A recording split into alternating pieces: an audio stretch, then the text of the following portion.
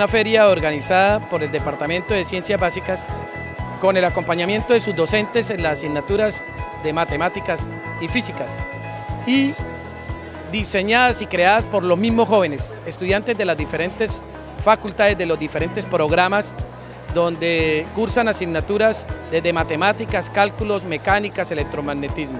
Aquí encontramos jóvenes desde deportiva hasta ingenierías.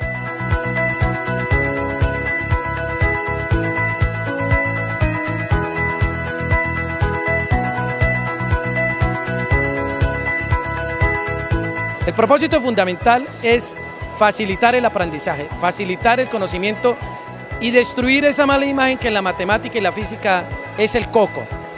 Pretender a través de didácticas y de modelos que pueden utilizar los profesores facilitar el proceso de aprendizaje. Nuestro proyecto consiste más que todo en un transmisor FM. Entonces, ¿qué es lo que nosotros estamos haciendo? Por medio del espacio libre nosotros estamos transmitiendo en una frecuencia. ¿Qué es lo que pasa? Que en la frecuencia de, por ejemplo, el de nosotros 91.5, en esa frecuencia todas las personas que estén cercanas sintonizándola pueden escuchar lo que nosotros conversemos por medio de este aparato. Estos juegos consisten en escaleras y parques matemáticos, los cuales, según las casillas en las que van cayendo, tienen que resolver o teoría matemática o resolver ejercicios de matemáticas que abarcan ecuaciones, inecuaciones, factorización, en algunos casos límites o vectores en R2 y en R3. El juego está basado en un twister, entonces el jugador van a jugar en parejas. Se puede jugar de a una persona o de a dos, pero siempre tiene que venir la pareja. Alguien resuelve y el otro sufre. Entonces, depende del conocimiento que tenga. Sufre o juega tranquilo, mientras terminan toda la cantidad de preguntas que sean basadas. Tengo preguntas tanto de precálculo como álgebra, como lógica matemática, matemática básica, como mecánica y lo elemental. Brain Lab consiste en una aplicación que nos ayuda a entender las, como los cálculos matemáticos de una manera más divertida. Brain Lab tiene dos laboratorios, ¿sí? En cada laboratorio hay cuatro maneras de jugar, que es memoria, lógica matemática, cálculo matemático y visual. Dominos Factor, como lo indica su nombre, consiste en, en un juego que es como un dominó, pero basado en caso de factorización.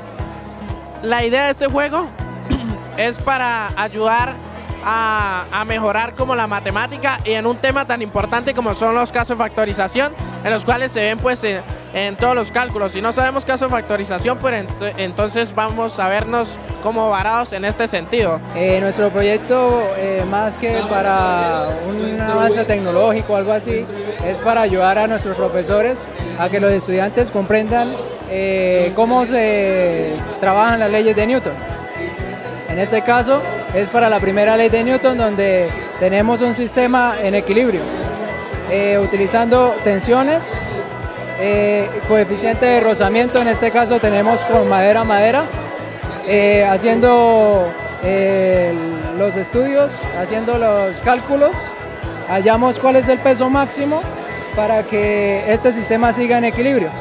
Y lo que tenemos acá son el peso máximo eh, que nos va a hacer que el sistema esté en equilibrio. Es un cargador que tiene un panel solar de 5 voltios, una corriente la cual suministra pues 400 miliamperios, entrega una potencia de 2 vatios. Si acercamos nuestro panel a la bombilla pues estamos simulando la representación de la energía solar, en este caso para poder cargar nuestro dispositivo móvil.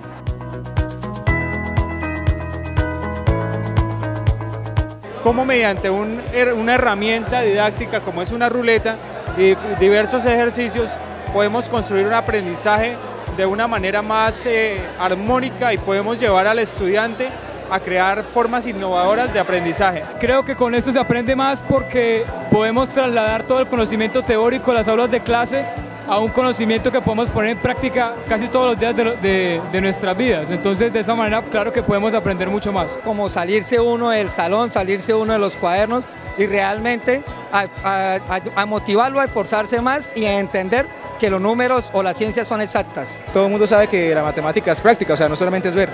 Obviamente hay que practicar, hacer ejercicios y entre más practiques, pues vas a ser mejor.